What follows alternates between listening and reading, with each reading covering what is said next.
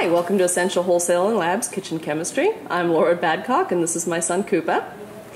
And today I am going to show you how you can work with your kid in the kitchen to convert a base product into something a little bit more. Glory, Stephen, and I were talking about how during the change of the season our hair gets a little dry and we all love the herbal aloe and shea hair and body wash. So we talked about maybe adding some oils and probably a, a scent to the product. Well, Cooper overheard us and begged us if he could do it in the kitchen for us. We're going to be using the Herbal Aloe and Shea Hair and Body Wash, Certified Organic Jojoba Golden Oil, and Certified Organic Castor Oil. Cooper also requested that we sent with our new Lingonberry Natural Fragrance Oil. He just loves the scent, and frankly, so do we. Definitely put your child on a stool, a stable stool, so that they are above the product before you get started. What I did was I poured off a pound of the hair and body wash to make it easier.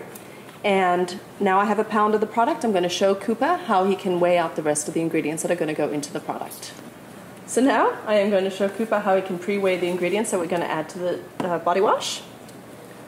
So Cooper, you're going to take a container and you're going to tare out the scale, which means you're going to have the scale not recognize the weight of the container. So press the tare button. The first thing I'm going to do is I had poured off the oils into smaller containers to make it easier for him to pour.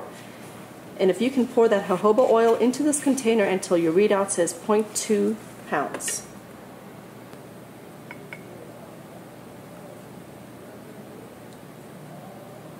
And Cooper is a little bit of a perfectionist. It's okay if you don't get it right on the dot. Fantastic, Cooper. Good job. Right?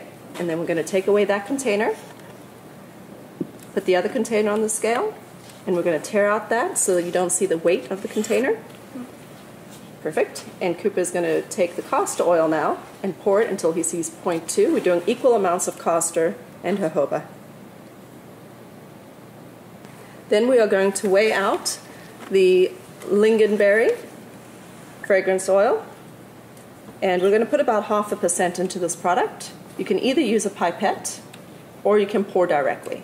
Cooper, what would you like to do? You are only looking for a very, very small amount. So I would recommend the pipette. Okay, and you want to do 60 drops.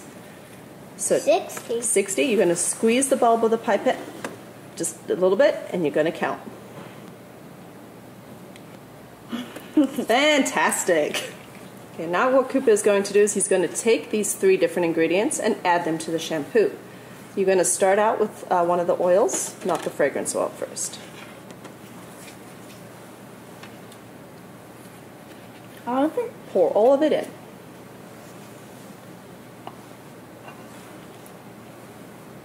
There goes the jojoba oil. Ah! Fantastic. Now we're going to take a high shear blender, like a hand mixer from your kitchen, and Cooper, it's right over there, and turn on your power button. And go ahead and hold it. Now move your wand up and down. Move your wand up and down to get the oil into the product. Good. That's exactly what you want to do. It might take a little bit of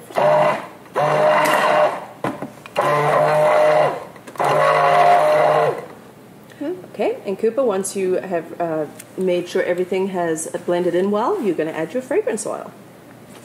Oh, whoopsie. So you probably want to help your child just to uh, stop any kind of spillage. Do you want me to do that for you? No. Okay. Cooper says he's got it. Fabulous. All right, and you are going to mix one more time.